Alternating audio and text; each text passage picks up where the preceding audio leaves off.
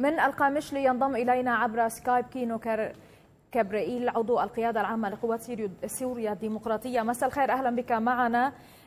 إذا نتحدث عن تقدم لقوات سوريا الديمقراطية. نتحدث عن دخول أحياء في مدينة الطبقة أول الأحياء وعن صعوبات فيما يتعلق بألغام حالة دون تقدم أكثر لكم. لو تحدثنا أكثر عن آخر تطورات المعركة.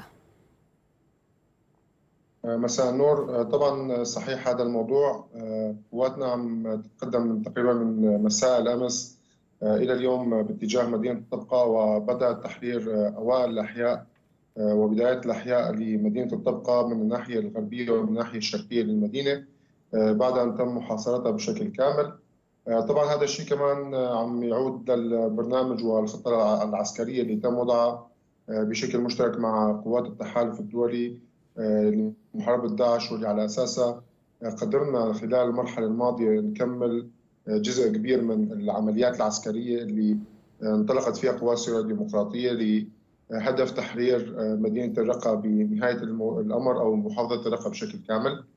طبعا العمليات العسكرية مثل ما ذكرت عم عم نمر فيها ببطء شديد طبعا بغض النظر عن المعوقات اللي عم تعترضنا هو برنامج من طرفنا لننطلق أو لنسير بشكل بطيء لهدفين أساسيين. واحد منهم هو المحافظة على أرواح المدنيين الموجودين بالمناطق اللي عم تسيطر عليها داعش وعدم استخدام القوة القصوى بهذا الإطار أو داخل المدينة من أجل المحافظة على حياتهم أو من الناحية الثانية كمان من أجل المحافظة على قواتنا.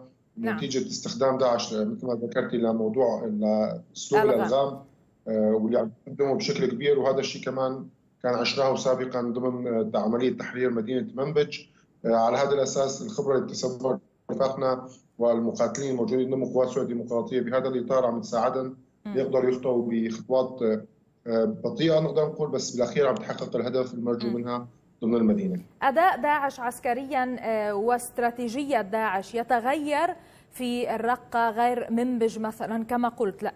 والتي استفدتم من الخبرة بمعارككم بمنبج.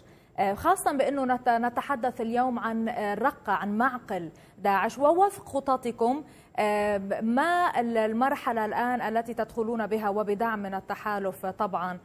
كيف تصدون العقبات خاصة موضوع الألغام؟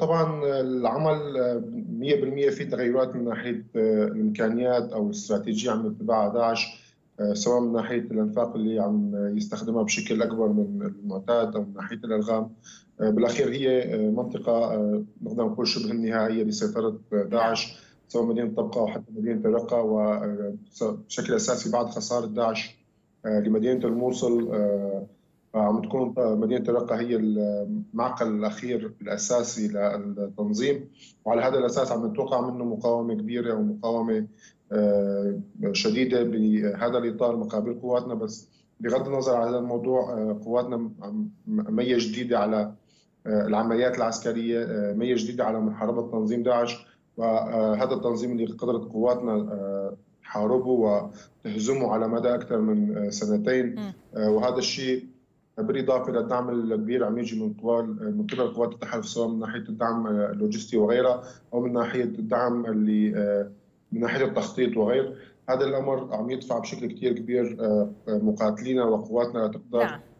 تتحرك بشكل كبير وبشكل قوي لهزيمة تنظيم داعش ضمن هاي المرحلة عم نخطوها باتجاه تحرير مدينة الرقه. أنا أشكرك جزيلا من القامشلي كينو كبرائيل عضو القيادة العامة لقوات سوريا الديمقراطية.